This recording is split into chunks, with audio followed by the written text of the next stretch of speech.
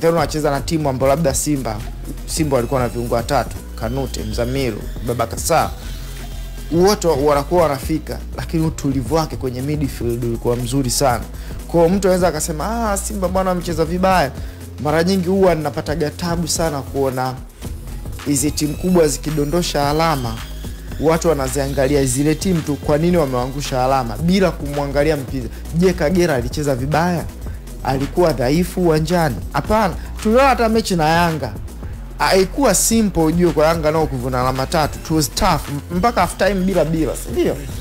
Ilikuwa tough kweli kweli. Kwa hiyo hata mechi ya Simba wamempa vile yule nani Chirwa jinsi alivyocheza na masenta beki wa Yanga ndio hivyo dhidi ya Yanga. Nafikiri Yanga wenyewe wanakumbuka first half, kabla Yanga hawajafunga goli, Chirwa alimamnusu na mpira aweke wavuni, cross ambayo alikuwa mfaulu alikuwa anapiga Luende mara mbili mara mbili. Jana yenyewe angeweza kufunga mbili. Kuna mpira mmoja Simba alienda kupiga kona ukahamishwa hivi, mpira ukadondoka nyuma ya safu ya ulinzi ya, ya Simba, mpaka nakumbuka alikuwa kati ya Siseme au Dua baada ya Chilwa kukosa mpaka ka, kama vile ameonyeshwa anamuonyesha ishara yaani kwamba angepiga pale pale. Kwa hiyo Chilwa alitaka ule mpira udunde atulize aende, kumbe angeweza kupiga tena pale pale.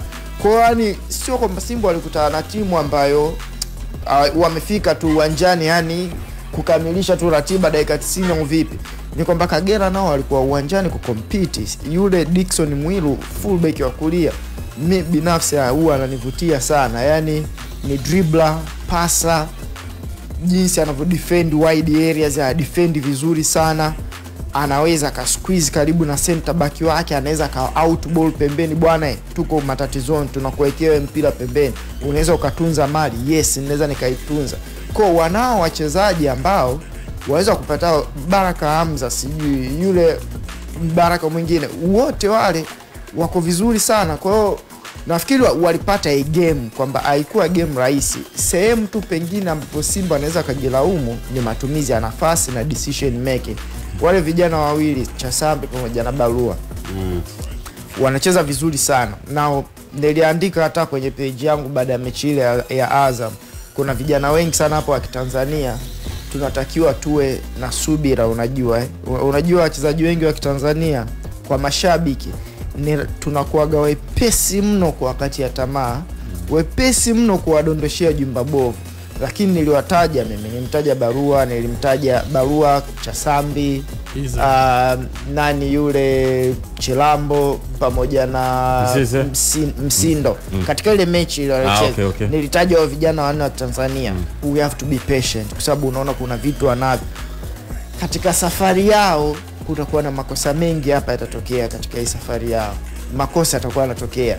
Kwa hata jana nilikuwa ninaona sehemu ambayo ya a simple pass lay off kwa mtu, weka pasi kwa mtu, labda cheza cheza simple football, wakuwa wanalazimisha kufanya vitu vigumu mno. Nafikiri ndio maana unaona kuna muda Mgunda alikuwa anawaita, aliwaita wote wawili kwa nyakati tofauti, ni kwamba kuwakumbusha kwamba ni team sport, tuko kumi uwanjani.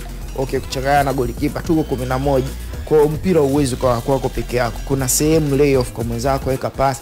Kwa niliona yani hata mitandaoni watu wanapokuwa wanawalaumu sana katika safari yao ya makuzi, katika safari yao ya football, vitu kama vile vita- vitatokea.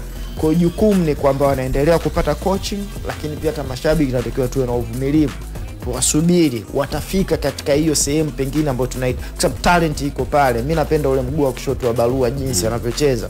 Chasambi anaonekana huko energetic, penetrative kweli kweli, ball striking ni nzuri sana, hata yeye mwenyewe Barua anaupiga mpira vizuri sana, so they need time, wanahitaji coaching.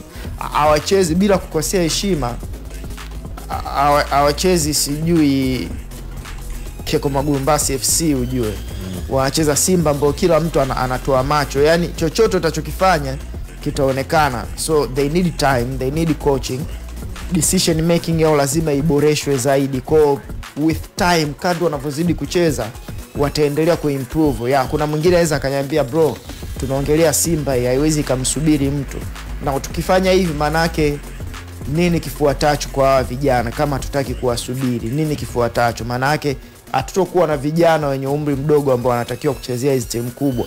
So kadri muda wanavyozidi kupewa na coaching nzuri na mazingira mazuri wata improve of course kuna chance ambazo simba amezipata ni nzuri tu mm. pengine wangeweza kuvuna alama tatu kabisa mm.